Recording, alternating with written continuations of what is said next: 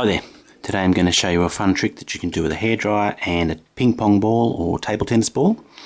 And before you do this trick, don't forget to ask an adult if it's okay uh, to play with a hairdryer.